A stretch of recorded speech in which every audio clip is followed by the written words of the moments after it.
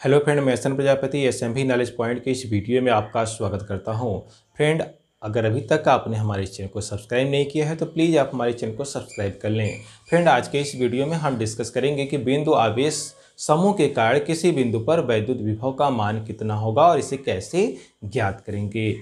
और दूसरा जो टॉपिक होगा, वह होगा इक्विपोटेंशियल सरफेस सम विभव पृष्ठ। तो फ्रेंड, सबसे पहले हम लोग डिस्कस करेंगे बिंदु आवेश के कारण वैद्युत विभव। तो फ्रेंड यहाँ पर मान लेते हैं कि कोई बिंदु यहाँ पर P1 है और यहाँ पर दूसरा बिंदु P2 है, यहाँ पर तीसरा बिंदु P3 है और इस पर जो आवेश हैं, यानी इन पर जो आवेश है, वह मान लिया यहाँ पर Q1 आवेश है, इस पर Q2 आवेश है और इस पर Q3 आवेश है और इनकी जो साइन है, हमने मान लिया कि इस पर Q1 पर प्लस और Q2 पर माइनस और Q3 पर प्लस आवेश है।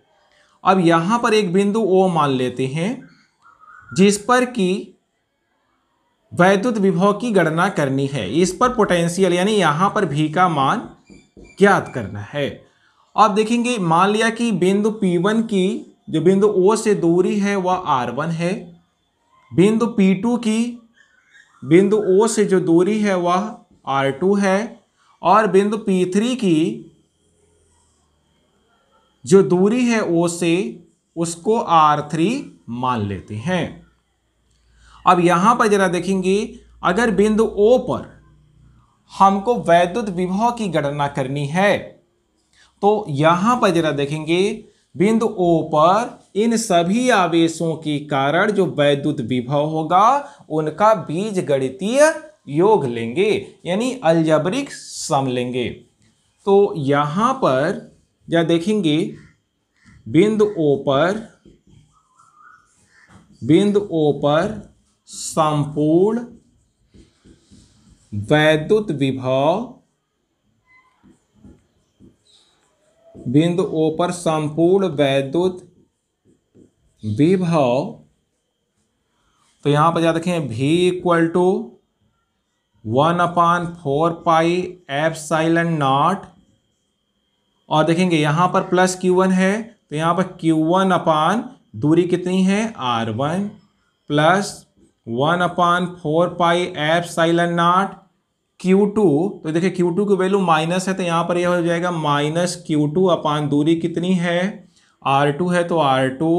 और प्लस जो क्यू थ्री है तो यहाँ पर हो जाएगा one upon four pi epsilon naught और प्लस क्यू थ्री है तो यहाँ पर देखेंगे क्यू थ्री अपान, और दूरी कितनी है? R three.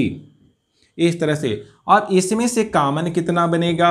One upon four pi epsilon naught. Common बन जाएगा तो यहाँ पर बचेगा क्या? देखेंगे, यहाँ पर q one upon r one. यहाँ पर देखिए, माइनस क्यू टू है, क्योंकि जो क्यू टू पर चार्ज है, वह माइनस है। तो माइनस आवेश के कारण जो विभव होता है, वह ऋणात्मक होता है। तो यहाँ पर यह minus q two by r है। तो यहाँ पर जो साइन लगेगा, minus q two by r two हो जाएगा। और यहाँ पर plus q three by r three हो जाएगा। इस तरह से। तो फ्रेंड, बिंदु ओ पर जो वैद्युत विभव होगा, इन सभी आवेशों के कारण तो उन सभी आवेशों के कारण बिंदु ओ पर जो वैद्युत विभव है, सबको प्लस कर लेंगे। तो यहाँ ओ पर परिणामी वैद्युत विभव आ जाता है। अब फ्रेंड आते हैं इक्विपोटेंशियल सरफेस सम विभव पृष्ठ। सम विभव पृष्ठ क्या होता है? किसी वैद्युत क्षेत्र में खींचा गया हुआ पृष्ठ जिस पर स्थित प्रत्येक बिंदु पर वैद्युत विभव एक समान हो तो ऐसे पृष्ठ को ऐसे सरफेस को इक्विपोटेंशियल सरफेस कहते हैं। जैसे मान लिया कि यहाँ पर कोई एक प्लस क्यू चार्ज है तो इसके कार्य जब चारों तरफ़ इसके वैद्युत क्षेत्र उत्पन्न हो जाएगा। तो मान लिया इससे समान यहाँ से एक, एक प्रकार का हम एक गोला बनाते हैं। इस प्रकार से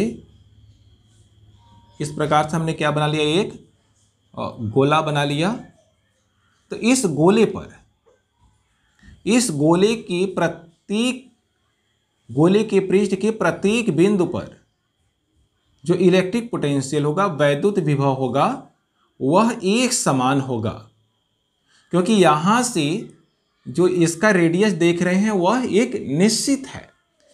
इस बिंदु, इसको मान लिया बिंदु ओ पर ये प्लस क्यू चार्ज था। तो यहाँ से यह देखेंगे, यह रेडियस बिल्कुल निश्चित है। तो इसकी प्रतीक बिंदु पर जो वैद्युत विभव का मान होगा, वह भी क्या होगा? बिल्कुल नियत होगा, निश्चित होगा। क्योंकि जो भी इक्वल टू होता है भी equal to one upon four pi epsilon naught और क्यू बाई आर होता है। तो जब आर निश्चित हो गया तो इसका मतलब यह हुआ कि इस पृष्ठ पर स्थित प्रत्येक बिंदु पर वैद्युत विभव का मान एक समान होगा। इसलिए यह पृष्ठ सम विभव पृष्ठ कहलाएगा। यह पृष्ठ जो होगा, यह सम विभव पृष्ठ मीन्स इक्विपोटेंशियल सरफेस कहलाएगा। और इक्विपोटेंशियल सरफेस पर जो वैद्युत क्षेत्र का जो डायरेक्शन होता है वह इक्विपोटेंशियल की लंबावत होगा। इस तरह से यह होगा, जो इलेक्ट्रिक फ़ील्ड का जो डायरेक्शन होगा, वह इस तरह से, यहाँ पर यह इलेक्ट्रिक फ़ील्ड का डायरेक्शन है और यह इलेक्ट्रिक फ़ील्ड इलेक्ट्रिक फ़ील्ड इस पृष्ठ के लंबावत होंगे। यानी यहाँ पर जो वैद्युत क्षेत्र का दिशा होगा क्योंकि प्लस आवेश है तो प्लस आवेश से बाहर की ओर होगा और इस इक्विपोटेंशियल के लंबवत होगा। यानी इस सम विभव पृष्ठ के लंबवत वैद्युत क्षेत्र का डायरेक्शन होगा। तो फिर यहाँ, यही इक्विपोटेंशियल सरफेस होता है। अब इक्विपोटेंशियल सरफेस के दो बिंदुओं के बीच का अगर हम लोग विभवांतर लेंगे तो विभवांतर चूँकि इसकी प्रत्येक बिंदु पर विभव क्या है? एक समान है तो यहाँ पर विभवांतर क्या होगा? शून्य होगा। तो एक रिमार्क लिख सकते हैं कि सम विभव पृष्ठ सम विभव पृष्ठ के दो बिंदुओं सम विभव पृष्ठ के दो बिंदुओं के बीच सम विभव पृष्ठ के दो बिंदुओं के बीच विभवांतर विभवांतर बराबर ज़ीरो हो जाएगा। तो फ्रेंड, यहाँ पर सम विभव पृष्ठ के कोई भी दो बिंदु ले लेंगे। जैसे यहाँ पर भी पोटेंशियल भी है, यहाँ पर भी भी है तो भी माइनस भी क्या हो जाएगा? ज़ीरो हो जाएगा। तो ये है इक्विपोटेंशियल सरफेस